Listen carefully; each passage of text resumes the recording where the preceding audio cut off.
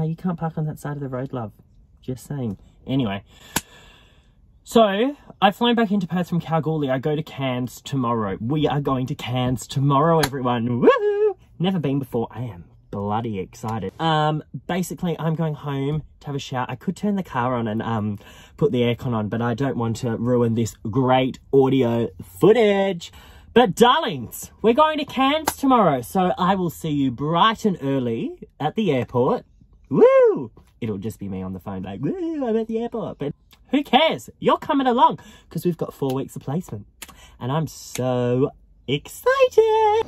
Good morning. It's 5.20 in the morning and um, here we are. I had to borrow my resident fee because obviously um, my house is rented out. Mm, well, somewhat anyway. God, I'm really fanging for one of those ham and cheese bagels toasted. Oh, yum. Hope the line's not too long. Could you believe the same old story? It never bores me, though I've heard it all before. Her name was I'm not gonna lie, I'm not one for sauce, but I've been trying different sauces um, this past couple of months, so let's hope the sauce in this brekkie wrap's good or if not, it's gonna go in the bin. She's getting older, hanging out in the fancy bars with the boys who can play guitar. Listen up, cause I've got to warn ya. She's gonna make it out of California. Hey, you, what's a good girl like you doing in this crazy world? Who's the good gone girl? Made it to Cairns, and now we're going to head in an Uber um, to my accommodation. So, I've got fucking that many bags, but that's okay. But you know what? It's all an experience. So far, so good. I reckon my feet could slip out of my thongs. It's that humid right now. So I may as well show you around the new crib. They just gave me an aircon control, thank God, because do you know what? It's like Bali. Imagine living in Bali with no aircon. Yeah, you would die. This is our bathroom. I'm gonna be wearing my thongs in there because I don't want tinea. And this is where I'm gonna do a big poo. Off to room 412, where my neighbour, Janine, Janine? I can't remember. If you ever want to come visit, is 2408 lock. Oh my god, so much more livable with an aircon. Oh my god, I'm gonna stay for months. I'm gonna get some alfoil because that is a bit bright for my likings. I'm one of, especially if I'm on a late. Don't want to be waking up early. Obviously don't need a doona, you just need the doona cover because it's what? Hot as a mother trucker. I don't know why, but I'm really getting Bali vibes here. And I know it's like a rainforest like Bali, but I just am.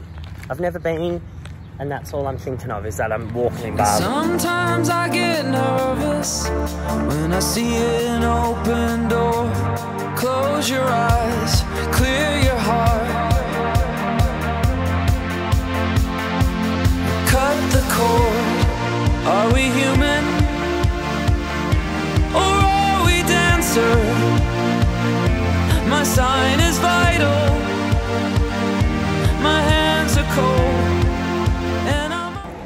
our way to the first day.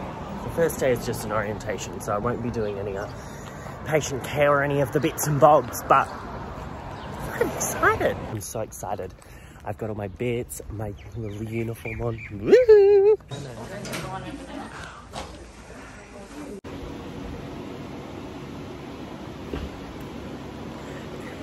Saturday, Sunday, Monday. Today's Tuesday. I start in the ward tomorrow, Wednesday being my first day on Surgical South Ward.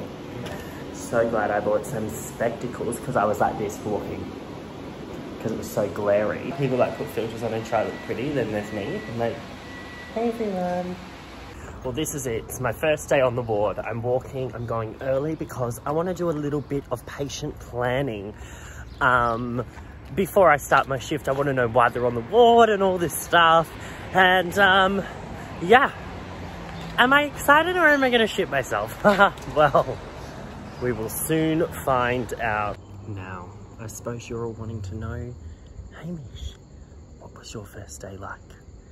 what's it like in the hospital? Well, absolutely loved it. Loved every single fucking second. But all my patients were beautiful. And now I'm in the pool.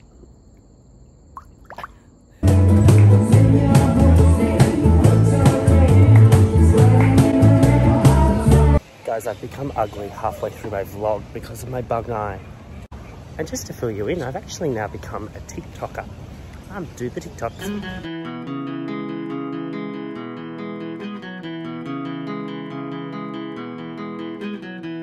And it's super windy. And it's not super windy, but there's a breeze.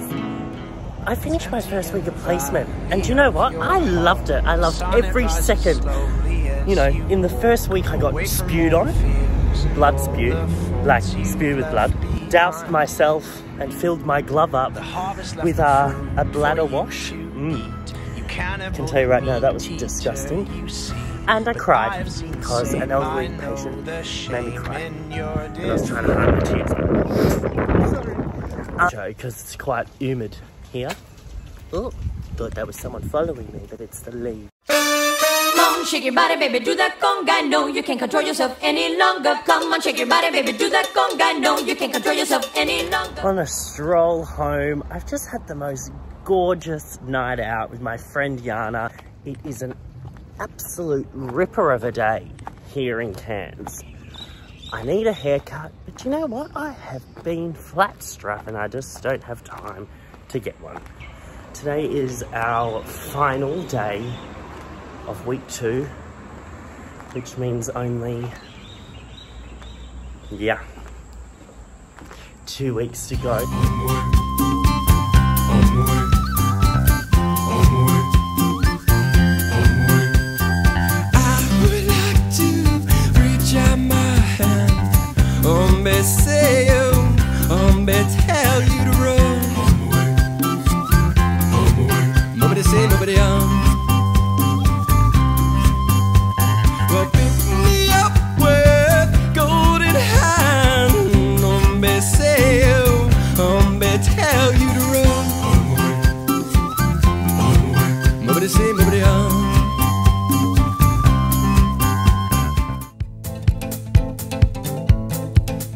Look back, look forward.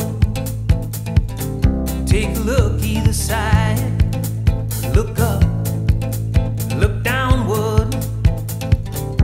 Look straight in my eye.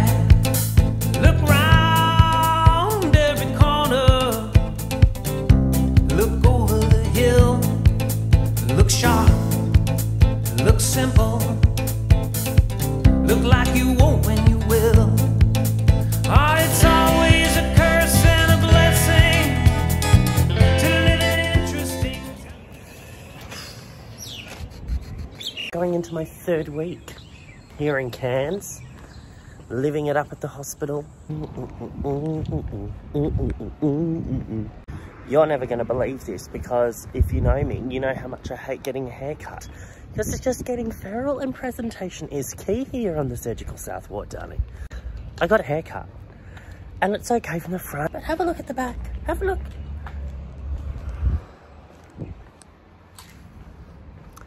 Um, where's my hair gone? I've only got eight shifts to go. I've just been so busy, so I haven't been able to. God, slap on the wrist. Slap on the wrist. Anyway, I'm going to pump some iron because I'm hot. And, uh, yeah. Well, what more can I say? I'm just leaving the hospital. This is the first night I've walked home since being on late. Because normally someone drops me, so I don't get back. So how's your placement been? fucking blast. I don't know if you can see all that gorgeous sweat on me. And I would like to say that I've just been for a run. But I can tell you right now, all I've done is a big shit on the toilet. Whoa, woke up today, still feeling gay, and my best friend's not here. It's my last day of placement. And my gorgeous friend Josie's here to pick me up. We're off on our last day. Me and Jose. I'm back at my shack. And my day, my placement is done. And now we're going out for a beverage, you know, a Sauvignon Blanc. But we're done. And I mean, it's been one hell of an experience. But now it's time to buckle up because this bad bitch is going to Alice Springs. Time for one last spicy margarita. Oh, yeah. At the airport, going to Perth. At the airport, going to Perth. Ah, I'm tired. I went out for the first time last night and I'm fucking wrecked. Well, this is the end of the vlog and we are, ah, sweating. I arrived safely this morning at 9.30. I just want to say how amazing the past four weeks have been.